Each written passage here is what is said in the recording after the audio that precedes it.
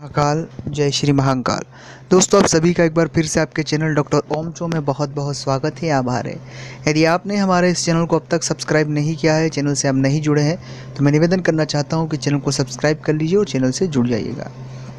इस वीडियो में हम बात करने वाले हैं कुंभ राशि, टेंशन लेने से हानियाँ। टेंशन लेने से क्या क्या हानियाँ हमें होती है? सबसे पहली हानि जो होती है कि अगर आप टेंशन लेते हैं तो दोस्तों जो ग्रह आपके पक्ष में हैं, जो ग्रह आपको लीड करते हैं, जो ग्रह आपको जहाँ तक पहुँचाया है, उस जो ग्रह आपके खिलाफ है, वो तो खिलाफ ही है। लेकिन अगर आप चिंता करते हैं तो यह ग्रहों का प्रभाव जो आपको मिल रहा है, जो लाभ मिल रहा है, वो लाभ में कमी आ जाती है। तो चिंता बिल्कुल ना करना चाहिए, क्योंकि हमें इन ग्रहों का बहुत सपोर्ट चाहिए। इनके सपोर्ट के बिना शायद हम कुछ भी नहीं है तो उन ग्रहों का सपोर्ट आपको लेना चाहिए। इसीलिए दोस्तों, निवेदन है आपसे कि कभी भी आप चिंता ना करें। दूसरे नंबर पर अगर आप बहुत ज़्यादा चिंता करते हैं तो आपको डिप्रेशन का शिकार आप हो जाते हैं और चिंता, भय और कई सारी तकलीफ़ें आपको जनरेट हो जाती हैं। ऑटोमेटिकली ये चिंता के साथ फ्री है। तीसरे नंबर पर चिंता यदि आप करते हैं, चिंतन करते हैं तो अभी इस वक्त इस पल में आप जी नहीं पाते हैं। शांति पुष्टि से जो इस समय चल रहा है, उसमें आनंदित होकर जीवन नहीं जी पाते।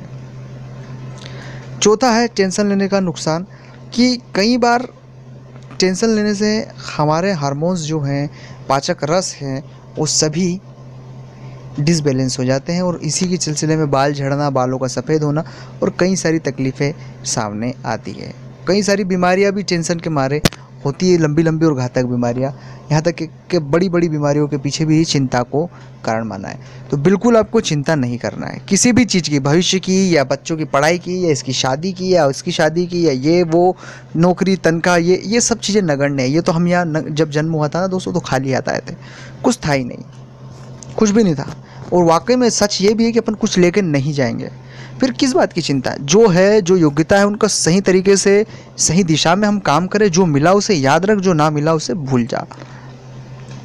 इस पूरे परिपाटी पे आपको चलना होगा और इस तरह से आपको जीना होगा तो आपके लिए बहुत अच्छा रहेगा। अब मान लीजिए इसके बाद भी आप चिंता को नहीं हर पा रहे तो सबसे पहले आप सकारात्मक रहना सीखें। बिल्कुल पॉजिटिव सोचें, पॉजिटिव बुक पढ़े, सकारात्मक लोगों से मिले, सकारात्मक नाटक, टीवी, टेलीविज़न, फिल्म्स देखें तो आपके लिए अच्छा है। सकारात्मक बातों के साथ ही साथ दोस्तों, आपका दूसरे नंबर पर है, आपको गीता का अध्ययन करना चाहिए।